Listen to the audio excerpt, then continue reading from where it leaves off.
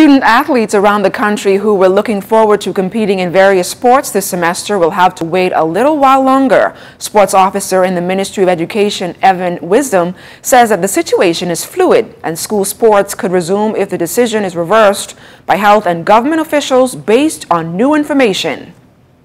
Education has concluded that uh, we will be advised by the Ministry of Youth, Sports and Culture and uh, its director, Mr. Timothy Munnings. And as uh, evaluated so far, uh, we are operating under the protocols of the competent authority. With that in mind, the competent authority has not uh, uh, reissued any statement with regards to uh, the performance of sporting activity.